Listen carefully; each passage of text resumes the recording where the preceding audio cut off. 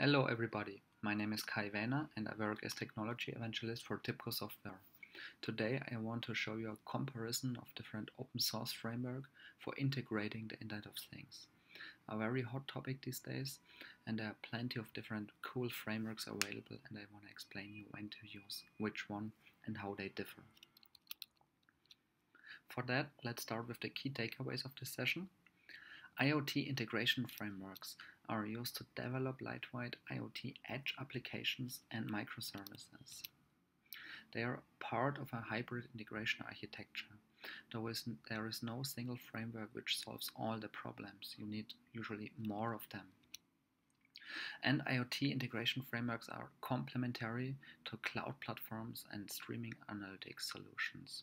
We will see how these relate to each other at the end of the session. With that, let's take a look at the agenda for this session. First, I will talk a little bit about the IoT trends and challenges and why a hybrid integration architecture is the new default in the future in most enterprises. Then I will talk uh, about IoT integration in general and the different kind of frameworks available, data pipelines, streaming processing, process engines. And then I will take a deeper look into some of the process engines as open source, Eclipse Kura with OPG Camel, and Node-RED and Flogo. And finally, I will talk about the relation of these integration frameworks to cloud IoT platforms from Google, Amazon, and so on. Let's begin with the trends and challenges of IoT. First, short definition Internet of Things. That refers to the ever growing network of physical objects that need connectivity and that need to communicate with each other. Without that, there is no Internet of Things. They have to communicate with each other. It's not just a few devices, it's devices talking with each other and sending information to each other. If you take a look at many different analysts, the forecast for 2020, you will have at least 20 billion devices, maybe even more. And if you think about 2025 or 2030, the number will be even higher. So we have a lot of IoT in the future and we have to work with that somehow. Already in 2016, there is over 300 IoT platforms on the market with many different frameworks, technologies, and sensors, and all that stuff. And all of these have to work with each other, which is, I think, a huge challenge, but necessary so that you can leverage the benefits of Internet of Things. If you take a look at Gartner um, and Market Guide for IoT Integration, there's one interesting statement which says through 2018, so only in one and a half years from now, half the cost of implementing IoT solutions will be spent on integration. And that's simply the reason because, as I said in the beginning, these devices have to communicate with each other to get added value out of that.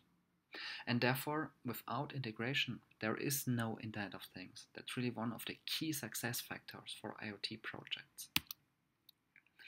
If you take a look at this from a higher perspective, um, there is the core integration and infrastructure, and as you see in the middle, which runs the business. This is your on-premise deployments or in the public cloud, where you run all your integration to mission-critical systems and to legacy systems, to cloud services, and so on.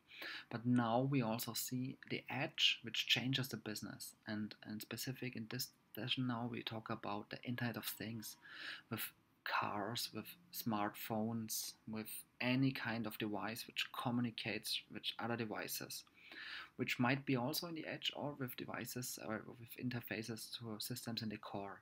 But we have to interconnect all of that.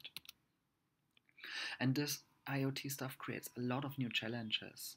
For example, these devices are not connected to the cloud, they have low bandwidth or latency of connectivity is significantly lower, and often the connectivity is not reliable. And even if all of that would work, it's still very expensive if you have to communicate with all of these IoT devices all the time. With 20 billion devices, we have to do a lot of internet um, communication. So a lot of challenges, and for that there are a lot of cool standards available on the market, like MQTT, CoAP, OPC URS, or many, many, many, many more. And these are available on different abstraction levels. So some are just for messaging, some are more in the process layer and for doing standardized processes and so on. But really the key is there is not a single one standard. Are many different scenarios and use cases and technologies. So we have a lot of different standards on different levels available. And that's huge challenges which we have to solve. And for that, we come to the next point in the agenda the hybrid integration architecture. And um, before we talk about that in more detail, let's think again about how we do integration. Integration in the end has two parts it has connectors to connect to different technologies, also IoT technologies, or to specific applications. Like we have seen in the beginning, the 300 different IoT applications already available on the market. And then we have the process design tools where you do things like process calls, data conversion, you have transitions and decisions. And these connectors and process design tools together are used to build integration processes. These are really the integration flows which build integration between legacy systems, IoT devices, and whatever you want to integrate with each other. So this is the same for 20 years now, but we have many different options for that depending on what scenario we want to solve. Also in common, all of these use the enterprise integration patterns. This is some functionality like filtering or content-based routing or aggregation, though these patterns are also used in any kind of integration project. No matter if you implement that by yourself with some Java or .NET code or whatever you want to use, or if you use some tooling which has already implemented that for you, these integration patterns are used always in these integration scenarios. But in addition, we do not have just one integration solution or framework which we can leverage in the meantime because we really need a pervasive integration with many different user roles. We have the integration specialists, but we also have some kind of citizen integrator, which have some technical capabilities, but they are not the experts in all the lower level technologies. And we even might have some ad hoc integrators which only have business knowledge and want still to integrate some stuff. And then we have all the different technologies. We have application to application integration, B2B, we have cloud services, mobile apps, and IoT, which is the focus of this talk. And around all of that, we have different governance models, operations, and the different deployment models. Therefore, we have huge challenges, and um, there's simply no one size fits all IoT integration or integration in general anymore. And for that, we are talking more and more about hybrid integration platforms. And the analysts are sure this is the new default in most enterprises to solve all your integration problems from on premise, as you see here on the left, with um, application integration, for example, using an enterprise service bus, or using modern cloud native integration solutions, application integration on a platform as a service like Cloud Foundry or Kubernetes like iPaaS solutions, which are hosted by the integration vendors, so you only use it but do not have to think about the infrastructure and operations, or like ISaaS, which is used by the business users for doing integration in the public cloud. And then we use API management to expose our APIs to other users and developers to leverage them and combine them. And in addition to all that, in the meantime, we now also see edge integration. this is also really about integrating edge devices and especially important for Internet of Things. And so we have a hybrid integration architecture with many different components. And today I want to focus really on the right side on how to do the edge integration and how that is related also to the other ones. Therefore, after this motivation and, and short overview, let's talk about IoT integration and what that is, because there are many different options for different use cases. First, let's um, think about this in general, and where we hear another new new term, which is called fog computing, or some vendors also call this edge computing. And the key difference really is that you do not always have the communication between cloud and the devices, but often you have device to device communication. So that's really changing the things because now you have much more computing and communication at the edge, and the logic cannot be always in the cloud or in the on premise data center. That's basically the key difference, um, what many call fog computing. And the key thing here really is to keep the data closer to the edge for all the reasons we already discussed, like latency issues, bad connectivity, or simply the communication costs between the cloud and the edge all the time with billions of devices. And with that, let's take a look at a typical IoT integration scenario. So here on the left side, we have these devices, and then we have a gateway so that all the devices communicate with the cloud or on-premise business applications. And these applications also send all the control events to the devices, and these send the feedback back here. So there's a lot of communication ongoing all the time, and this has some problems like the connectivity is unreliable or when non-trivial latencies in the hops between these communication steps. And as I said already, the network costs are adding up quickly with all these different IoT devices.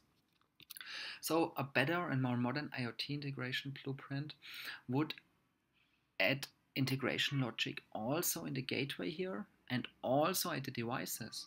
So you do not build all your integration in the business microservices or applications, but also add logic in the gateways or in the devices.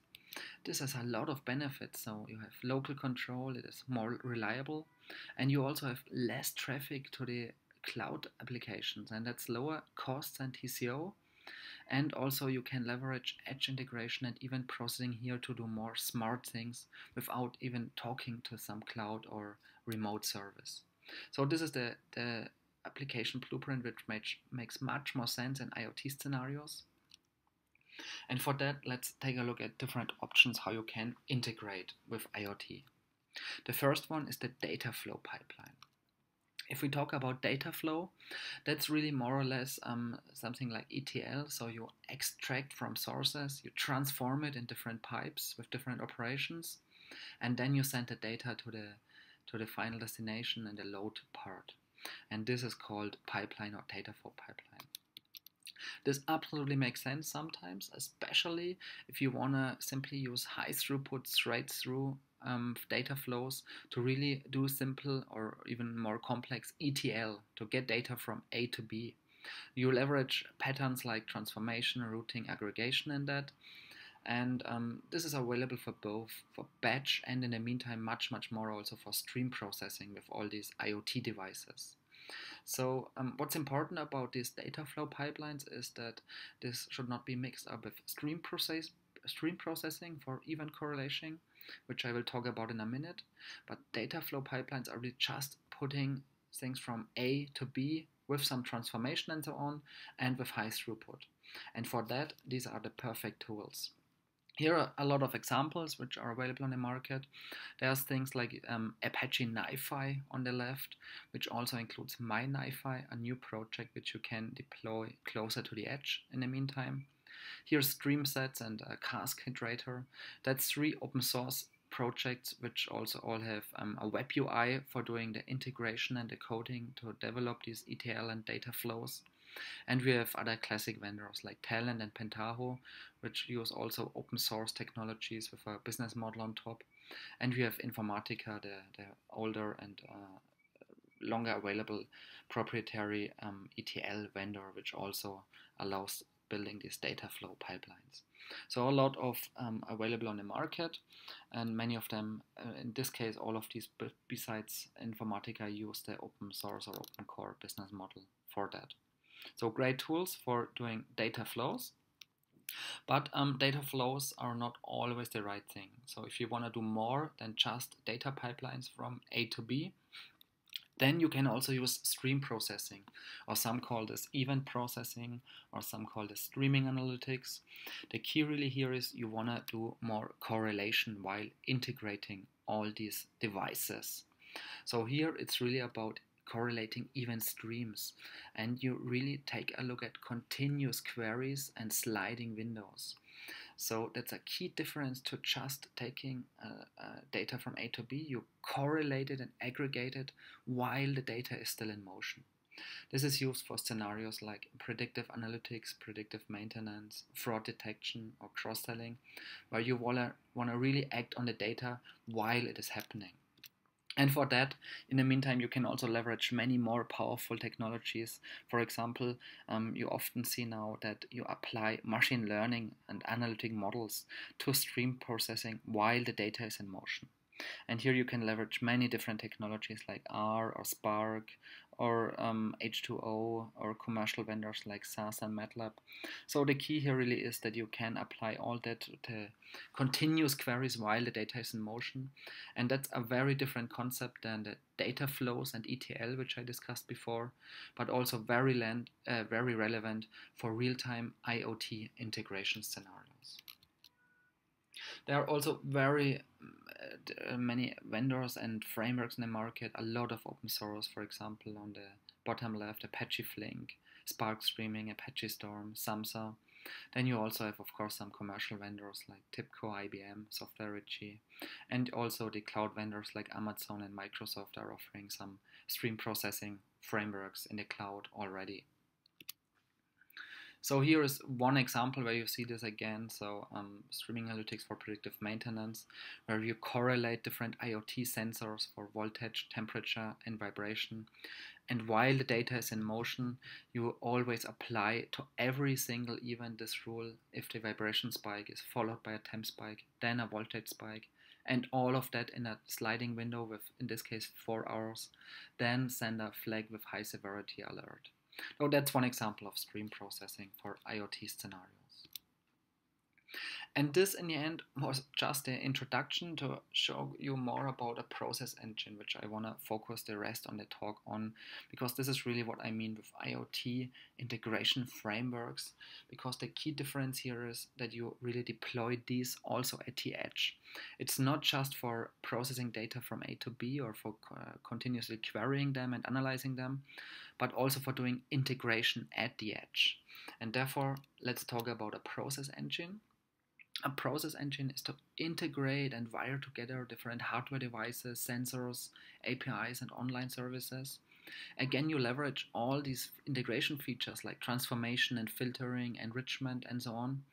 But in addition, you do many things which are not done by a typical ETL tool or by a streaming analytics tool, like retrying, rerouting, waiting, resuming. And these are the typical use cases which you can do at the edge, for example, for device management or device activation, where you really want to do logic at the edge. So this is much more than just ETL, and typically this is done in real time. And it can therefore be synchronously or asynchronously communication. This is the basic characteristics of a process engine.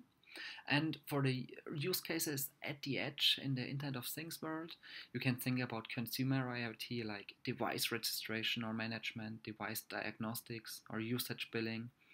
And the industrial IoT, you can think about device diagnostics, performance optimization, or asset management, for example. There are many more use cases, but here you already see how it differs from classical data flows and stream processing use cases.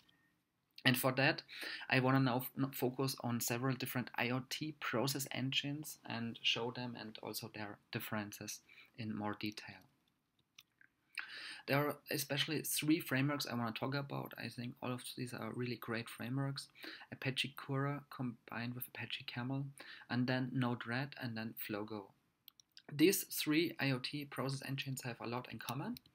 So all of them are open source frameworks available so that you can do with that whatever you want without any kind of license cost or subscription.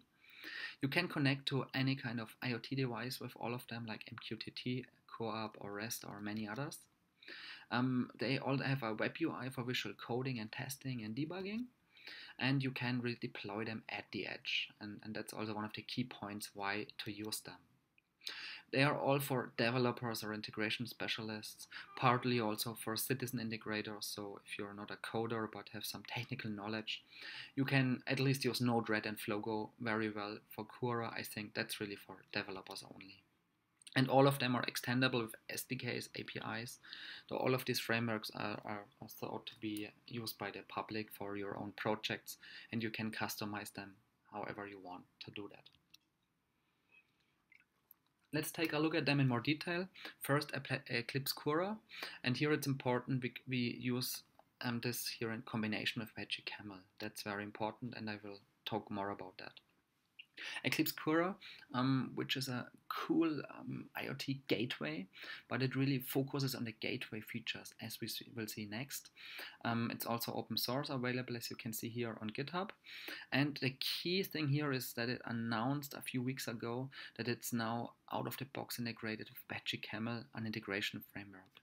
And this combination of an IoT gateway plus an integration framework makes this a nice combination. A little bit more details. Um, Eclipse Kura, um, it's an IoT gateway and it's based on Java and OSGI. Um, you have a web UI for configuration of the devices, network, and protocol.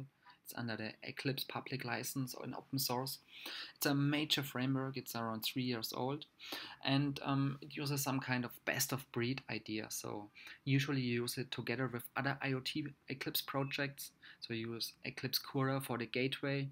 You use Eclipse project for smart home and the MQTT server and client, and then you can also combine it with Apache Camel because um, Kura itself is not really an integration framework. It's just a gateway part. And so to compare it with the other two, with Node-RED and Flogo, you have to use it with Camel, I think, to, that, that makes sense. Also, Eclipse Kura and Camel, that's really more focused for developers and integration specialists.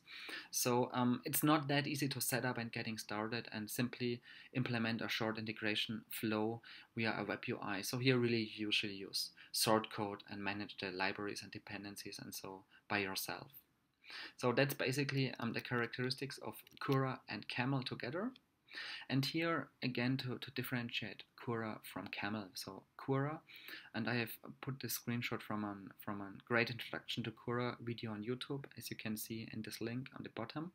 And this really focuses on gateway duties for IoT, like hardware and field abstraction for sensors and I/O access, managing network and connectivity for all the different technologies, including Wi-Fi and VPN, and you manage things like start and stop remotely, um, install and uninstall application, and all of these um, kind of things. Therefore, the architecture of Kura looks very similar to these IoT gateway features. So you really manage connectivity, network, field protocols, and all these things which you want to do in an IoT framework or gateway. Here's an Hello World, which you can see um, from the Kura website. And here you already see um, that it is based on Java and OSGI, and that you really have to do some kind of, of coding and configuration for getting started. So you need to know about OSGI and uh, bundles and activators and these kind of things to set up an example. And then you can use, as you see here on the right side, a nice web UI to manage the devices and all the other connectivity stuff and so on. In addition, we have to talk about Apache Camel. This is an open source integration framework which allows you to integrate all kind of technologies via a domain specific language, which you see here on the right side, and you can connect to many different technologies and endpoints with that. You can see here on the right side a short code example in Camel, they call it integration routes. And here you always have some kind of input, like in this case a file, uh, folder and then you leverage some integration patterns like split and content-based routing to send these kind of information and data to um, output um, endpoints like a file system again or a JMS queue or a mock or whatever kind of technology you want to integrate here. That's basically the idea behind Apache Camel. And now, um, a few weeks ago, there was the Eclipse Kura component for Apache Camel announced. So now you can, out of the box, without any specific coding, um, leverage both together. And that's um, what really makes sense. So that now you can leverage the IoT Gateway Kura with the integration framework Camel to combine this for IoT integration based on the Java platform.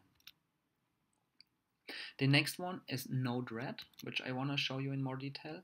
Node-RED is um, published by IBM, but it's also again completely open source. You can use it for free. It has no direct relation to IBM.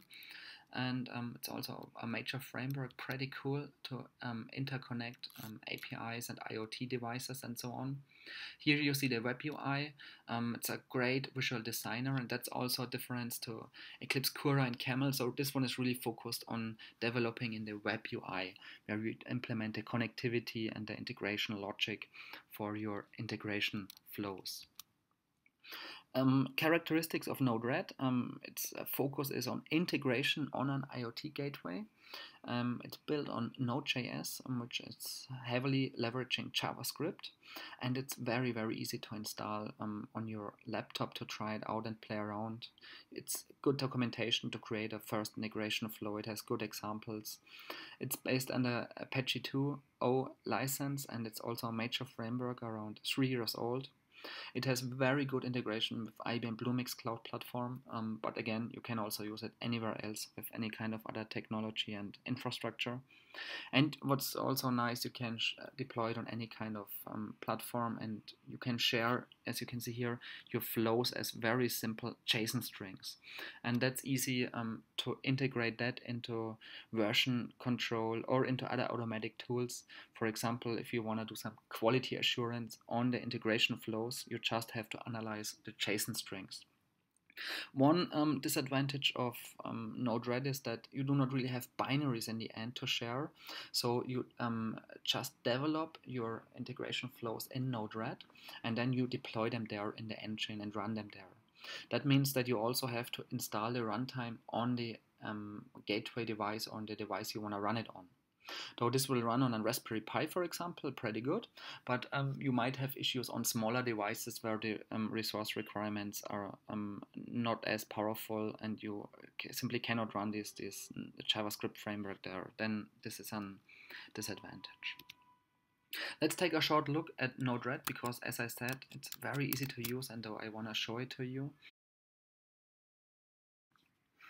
So here we see Node-RED running on my local laptop. I can access it via the web UI and installation is very easy. We can use npm here on a Mac or you can use a Windows installer and so on. And it's pretty easy. So let's go to the web UI. And here now I want to first start with a very simple hello world example.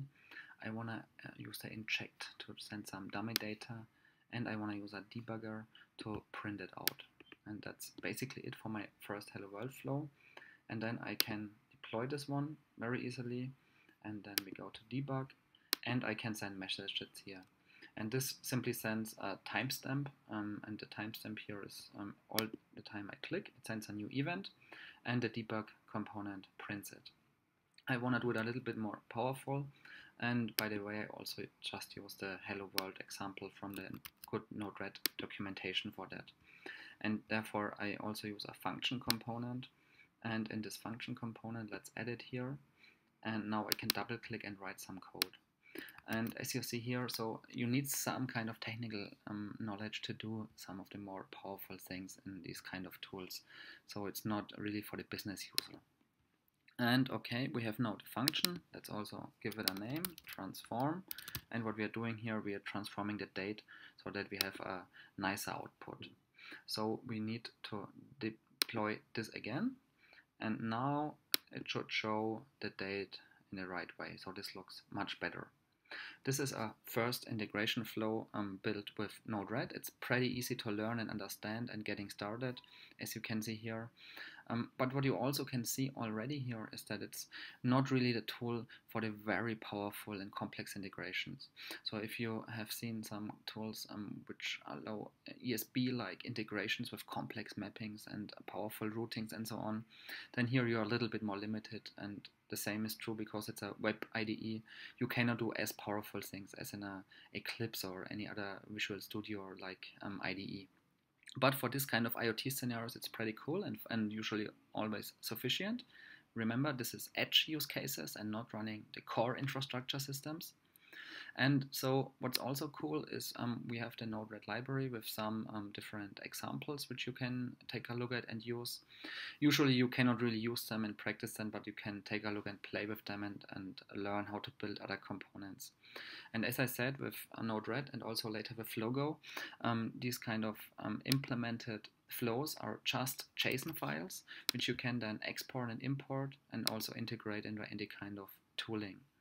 So here now I import an, um, a new flow. In this case, this is a real world, um, or not a real world, but um, at least an, a real IoT example with MQTT and so on.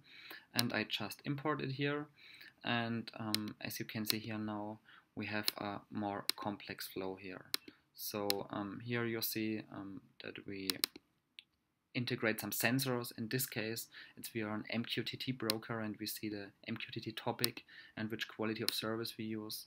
And then we can do some other things like, um, for example, here we have a delay node where we can say send just one message per second. And this way you use all the different activities and um, then configure them. And also here you see we have again some um, JavaScript code for doing some more powerful coding also. And this is how a typical um, more complex workflow runs. And then you always have simply to deploy it and then you can test it and analyze the log and um, to find errors and to redevelop it. And finally, then you can run it in production.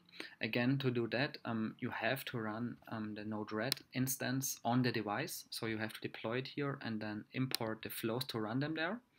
Um, that's fine if you can live with deploying um, Node-RED, um, so JavaScript on that device, like a Raspberry Pi. Um, if you want a more um, memory, less memory consuming stuff, then Node-RED might be the wrong uh, tool for that. But here it's pretty cool and um, it's also very mature, so you can use all of that pretty good. It works well. But also, um, what I found out because of the library, if you import some things with custom stuff, um, that might always uh, create problems. So, for example, um, after I imported this one, which has some new activities which I do not have here, um, it might be true that this um, flow does not work anymore. So you here you see um, contains some unknown nodes, and I still can deploy it. But now I see an error here, node not deployed, and so um, be careful with um, importing something from the library because afterwards what I did um, I have to remove all the um, stored data here. And then when I run it again it's all empty and then I can start from the beginning again. So be careful with what you um, download from the public library a little bit but it's still cool to learn about new activities and see some other examples. This was the example with Node-RED, pretty cool for IoT integration um, with the Visual Coding Editor. And let's now also take a look at Flogo. Flogo was open sourced in October 2016, so it's a very, very young integration framework for IoT. Um, it's right now available in the um, developer release, so it's really a preview in the end, um, and will get much more major in the next months, of course. And you also see here, it's also available on GitHub. You can go to the code or the documentation and examples, community, and so on, like with every open source project. Here you see one example of the web UI. It's very similar to Node-RED from the coding perspective. You can use the web UI um, to configure all the stuff and run it here. So it's also pretty nice and intuitive um, and as easy to install and getting started as Node-RED a little bit about effects here. The focus of Flogo is again also on integration on an IoT gateway like Node-RED, um, but it's also intended to be used for very lightweight edge application. This can either be on an IoT gateway also, but even on much more um, limited resources like sensors or um, less powerful computers. So not always a uh, Raspberry Pi can be used, but we need less powerful things. And then you might struggle with JavaScript or Java applications and might be happy if you can use things like Flogo, which is powered by Go. Go programming language, which is very lightweight, and um, therefore this is probably also the key differentiator to things like Node-RED and Kura if you need lightweight integration and microservices. It's also open source under the very permissive BSD license, um, so you can use it and do what with whatever you want. And as I said before, it's right now in developer preview, released in October 2016. And um, this one can also be run on a variety of platforms. You can also share um, the different flows and, JSON strings, um, the same story like with Node-RED. But what's pretty cool here is that you can also export it as a, your application or microservice as a lightweight binary with zero dependencies.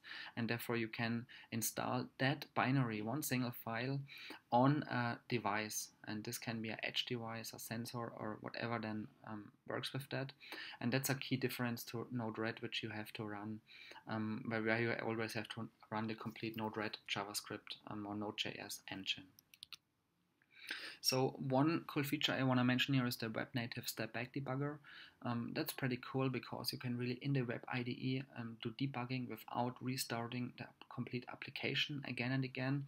You can interactively design and debug and simulate sensor events, even change data and configuration.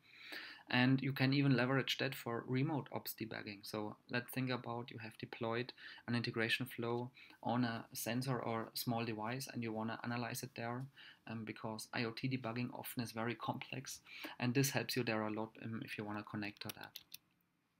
Let's also take a short look at Flogo in action. So here we are now uh, at the Flogo um, development environment I just want to show you here um, two different um, services. One is the weather service. Um, let's first run it before I talk more about the details. You can see here now um, that when I click run that um, in the end um, compiles the code and runs the example here. And so you see here in blue that this one runs successfully. Otherwise it would go to the error handler where you can also implement logic. But what you basically do, you have triggers. It's very similar to Node-RED. So um, here you receive an event, HTTP or MQTT or whatever, and then you use the different activities for looking um, or for filtering, for invoking other REST services like we do here with the weather service. You also see the um, response here. In this case, I requested a weather for my hometown in Germany for Erlangen, and it's right now 6 degrees Celsius. And then we can also reply this to the trigger. So this is a very example, simple example for integration flow. Um, but it shows you the basic concepts and here now you can could add um, different actions and activities and I also have exported this one and that's um, one of these key um, issues or differentiators also. You can export this as binary for different devices and then you can also run this um, on the on the local laptop or on, on any edge device. And that's one of the um, key things which I want to show you shortly here. So um, let's go to my um, folder where I have built them so here I'm in Flogo builds where I've exported a few different um, Flogo applications. And as you see here, that's really, um, this is very lightweight binaries which you can execute. So here, for example, I can execute the weather service. This is exactly the flow which I built in the web IDE. You see it started in a few milliseconds in this case. And I can access it from the web page, for example, as it is a REST service. Um, in this case, it just returns the flow ID, but I can also double check here in the terminal that this works as expected. And here it also returns my weather for my hometown Erlangen in this example.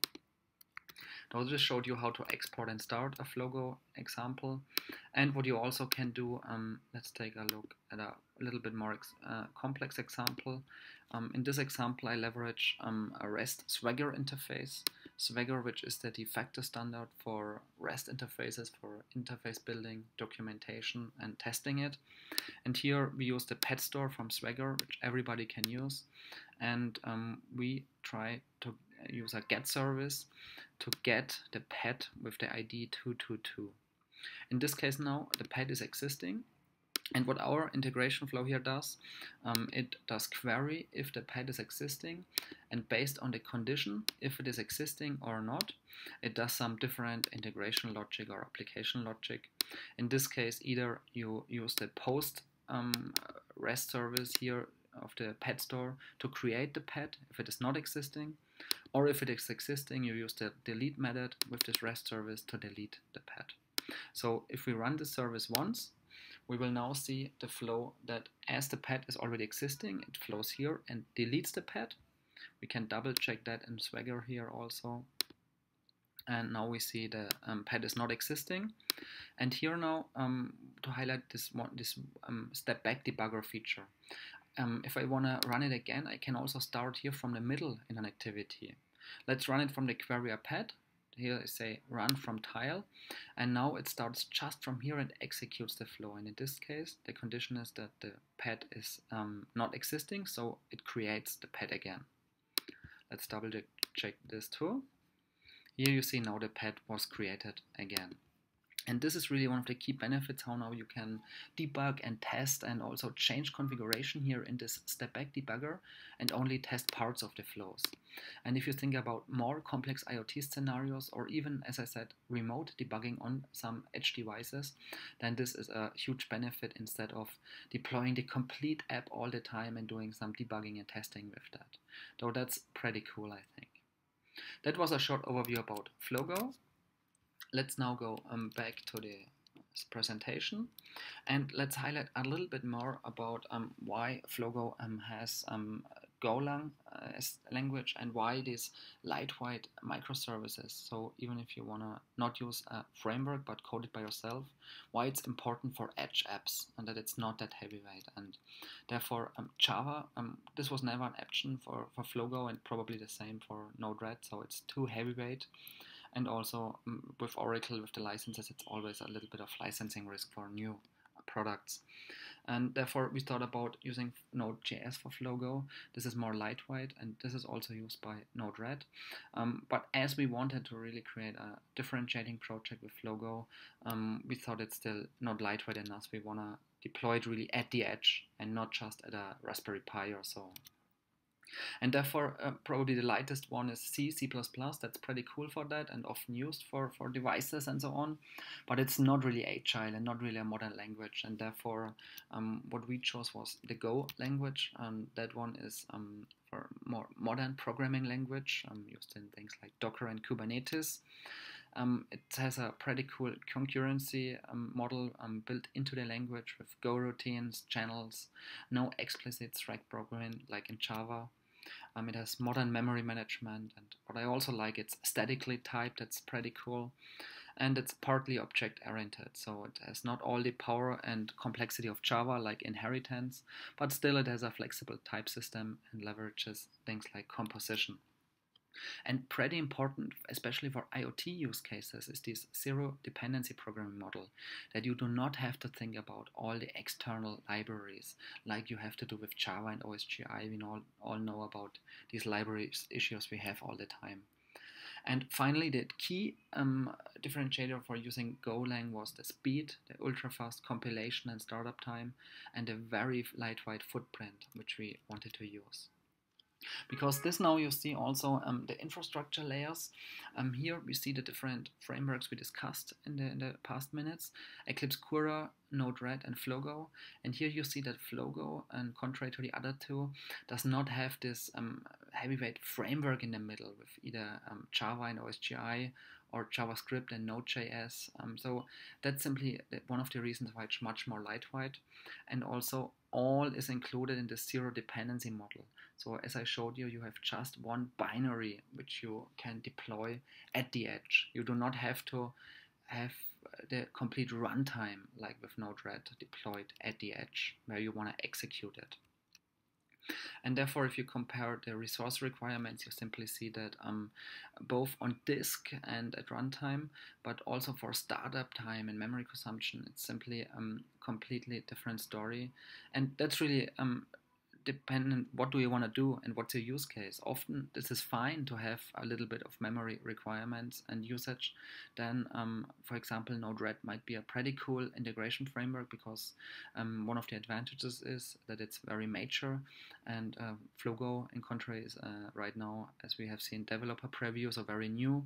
So you simply have to think about what makes sense for you if you still want to go with Java and it's fine for you um, with the IoT Gateway and Apache Camel in addition with Kura, it's still pretty cool for some kind of use cases. Though there is no, this is the best or so, it depends on the use cases. One more outlook about Flogo. Um, Flogo, we also want to really deploy Flogo Nano services on microcontrollers. So this is the next step that we deploy parts of the Flogo runtime even on a nano controller. As you see here, this is really very, very small devices. And even these will get um, some kind of integration logic for some simple things like filtering or aggregation so that you can do some things even there at the end of the edge, right? And not just in the gateway. So um, this was an overview about a lot of different integration options, including all these process engines. Let's now in the end also talk about um, how this is related to cloud IoT platforms. Therefore, I simply want to show you a few of the different reference architectures. Here you see the Intel reference architecture, where you have things, the devices on the left, the network with the IoT gateway in the middle, and the cloud on the right side. And in the end, these integration frameworks can be used especially in the network gateway uh, location. And sometimes if it's lightweight enough you might even use it directly in the devices. So this is for example where maybe Flogo might be easier to deploy than a Node-RED or Eclipse Kura um, with Camel or so. The same is true for the Amazon IoT reference architecture. Amazon has a lot of cool services, but of course, all of them are running in their public cloud including authentication and authorization, a device gateway, rules engine, and so on. But you also have to um, deploy integration logic at the edge, as we discussed in the last hour, and therefore it makes also sense to use um, these kind of things like Kura, Node-RED, or um, Flogo at the edge. Google IoT reference architecture is um, very similar, a lot of Google services, and here again you have the gateway um, at the edge, and here again you can use Node-RED, Kura, or Flogo there too. One final um, slide um, about IBM's OpenWhisk.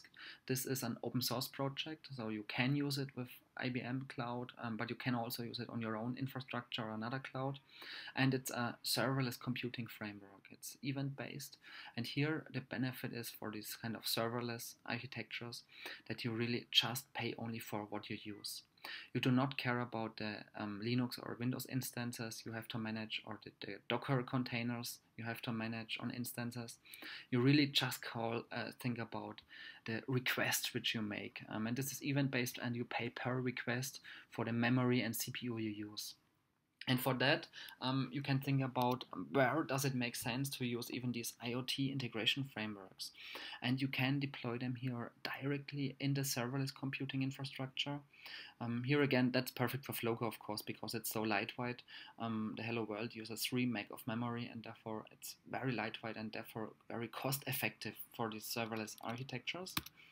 Um, you can also deploy it in the edge here and combine it with serverless computing. That's then true, of course, for all of them, Flogo, Node-RED, and Kura.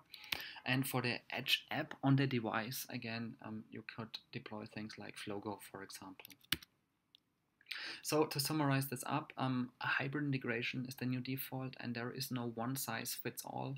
We've seen a lot of technologies today and open source frameworks for data flow pipelines, um, for stream processing and for IoT process engines. All of them make sense and uh, think about a scenario and which one is best for you. So let's finish with the key takeaways. IoT integration frameworks are used to develop lightweight IoT edge applications and microservices. They are part of a hybrid integration architecture, so they are just one part of the complete solution at most enterprises, and they are very complementary to IoT cloud platforms and streaming analytics, and often it makes sense to combine different IoT integration frameworks. As we have seen for data flows, it's sometimes absolutely valid to do ETL and use one of these frameworks. And on the other side, if you need a process engine, then something like um, Kura with Camel or Node-RED or Flogo might be the best choice. And with that, let's finish this up. Um, I, I, hope I gave you a good overview. And if you have any questions, just come back to me or post under this video. And thanks for watching it.